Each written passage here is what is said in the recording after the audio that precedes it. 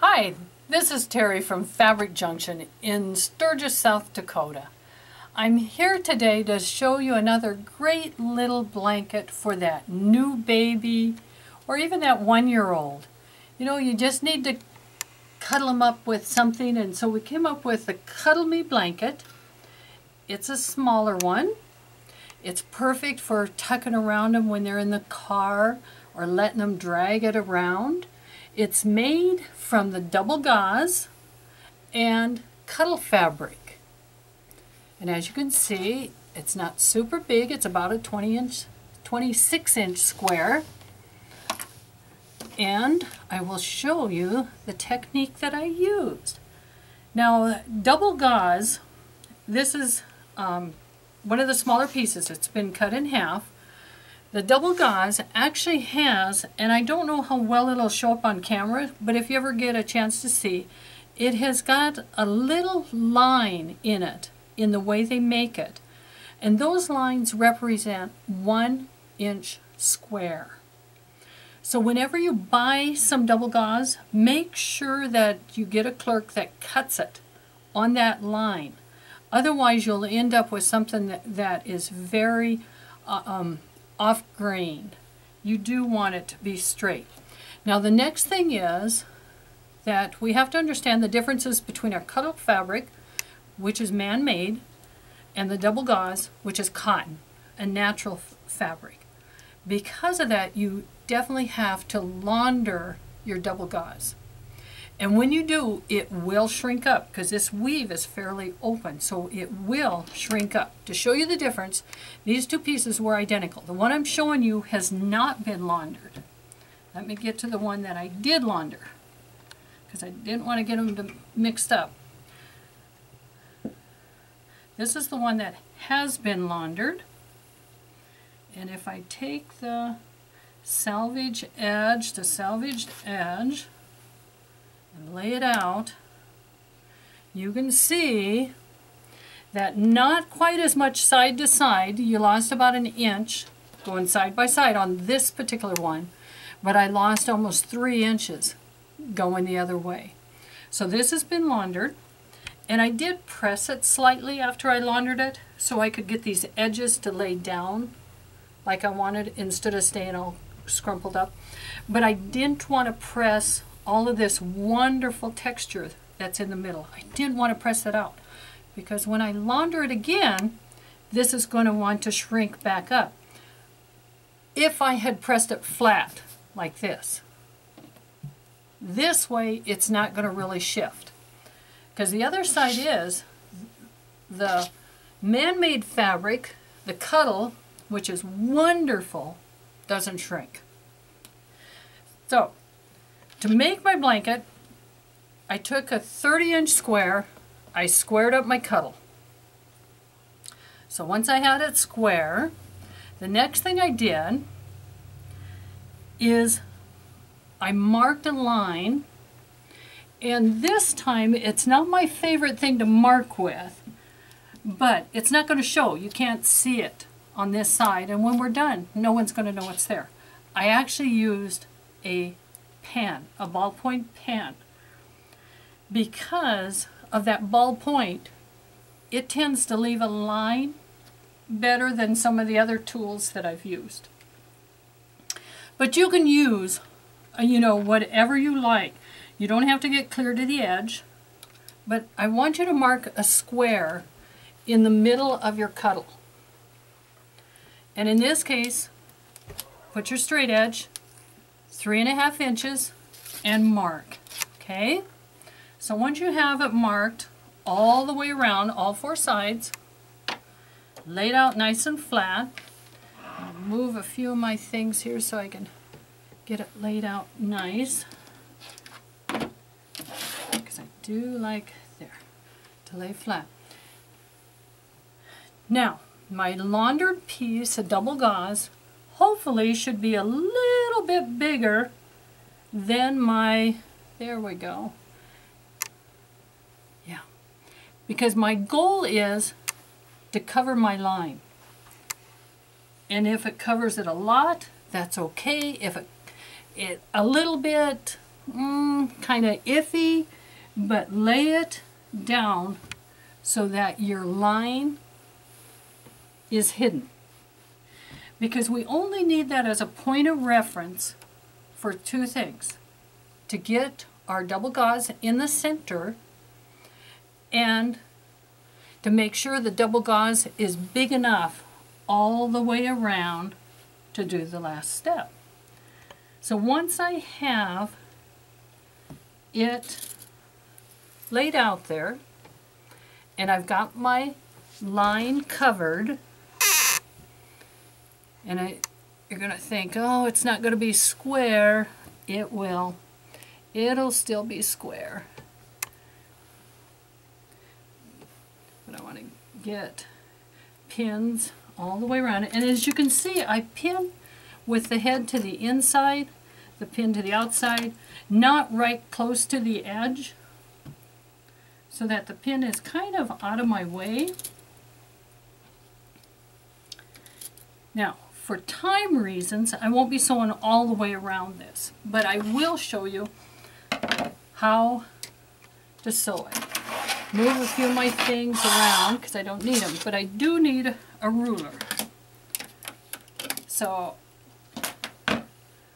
the goal here is to fold my cuddle over two inches. And if it helps you, go ahead, because if you think, this is the math that we're going to do. We, we made our line at three and a half. We made sure our double gauze went over the line.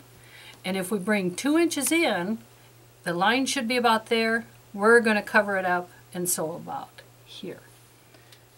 So what you can do next is use your ruler, your tape, whatever works for you, and slip just a pin here and there. And if you want, I would mark one side at a time because I tend to not like having tons of pins. Seems like whenever I have a lot of pins in something, I end up sticking me more than anything else. So I'm not a big person for gobs and gobs of pins. I've got one side pinned and need to show you how I'm going to turn my corner. Gotta adjust that just a little because it shifted on me. Okay, you have it folded like this, fold it. Ay, ay, ay, ay, I was going to say, oh, too much, too much. I folded it too much because part of that is going to go this way. There we go. So fold it down, not, not quite to the end. You know, you don't want to fold it clear down because that's what I did. This is way too much. You want to kind of stay lined up with your two inches here. Then you take this, move it over,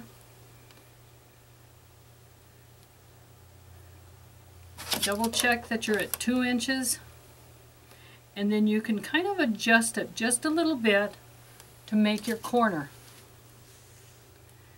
Now what I did, and whoops, got a few layers there.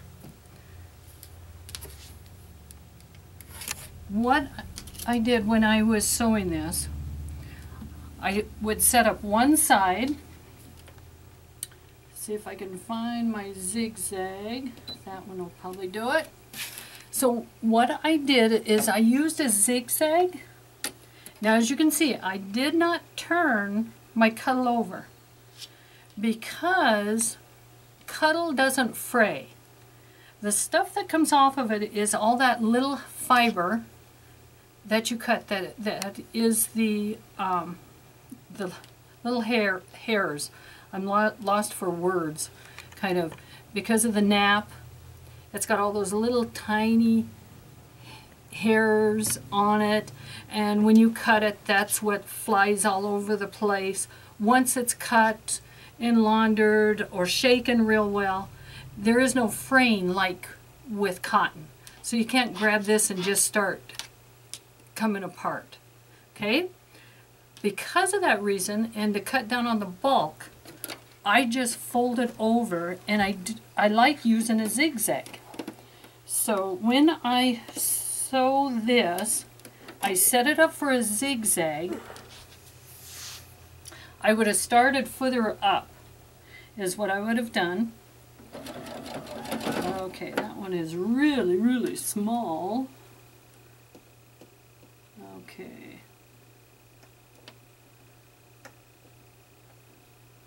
This one here. Gonna have to live with it, it looks like. I can't see much. That's okay.